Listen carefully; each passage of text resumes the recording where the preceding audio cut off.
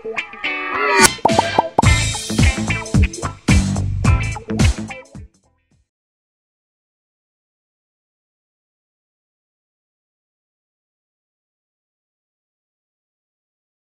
bless, bless, bless, bless.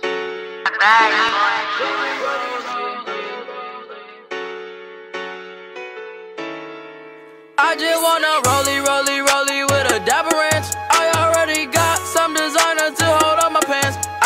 want some ice on my wrist so I look better when I dance. Have you looking at it, put you in a trance?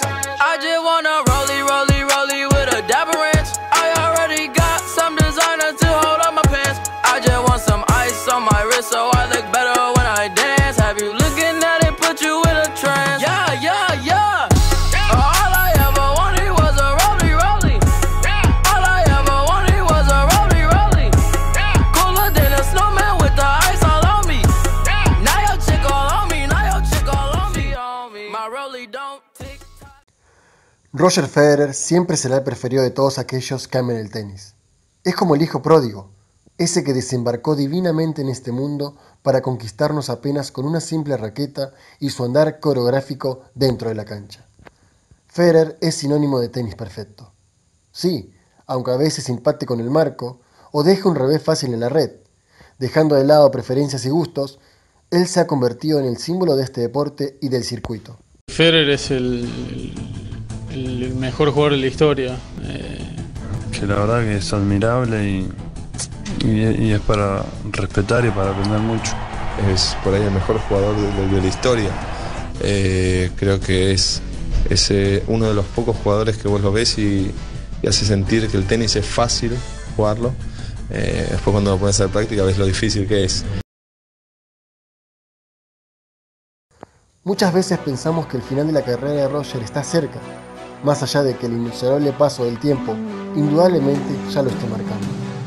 Luego de un 2016 olvidable, lesión de rodilla y quirófano que lo dejaron fuera del resto de la temporada pasada, Roger cayó al puesto 14 del ranking mundial, pero él se fortaleció y vino más fuerte que nunca, ganando nada menos que el Australian Open y posteriormente Wimbledon, y sumando así 19 Grand Slams en sus vitrinas.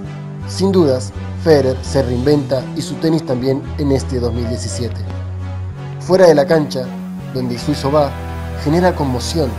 En algunas regiones la pueden controlar, en otras, como la nuestra, América Latina, la gente enloquece. ¿Por qué es Roger el preferido de todos? Además, claro, del pequeño detalle de ser probablemente el mejor tenista de la historia, analizaremos la personalidad del suizo que lo llevó a ser admirado y respetado por todos.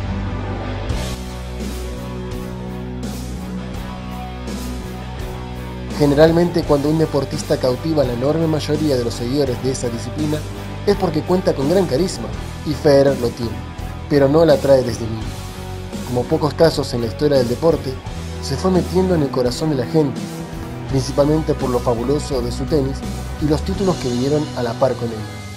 Afuera de la cancha aprendió y le enseñaron a manejarse como la estrella que es hoy, actuando en publicidades sin perder su esencia y humildad.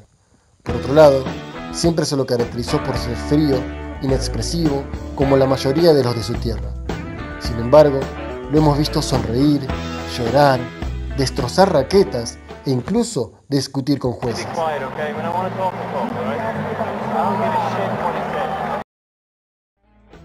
Luego de que sus años de perfección y hegemonía total quedaran atrás, el tener que luchar contra sí mismo para conseguir resultados lo volvió más humano a los ojos del público. Roger Federer es excelencia, arte, magia y humanidad por sobre todas las cosas.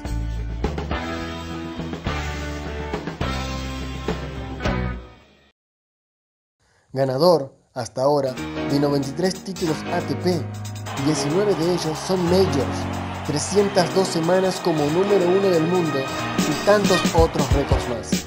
Roger Federer es la leyenda viviente y no se sabe si habrá alguien igual o mejor en esta era.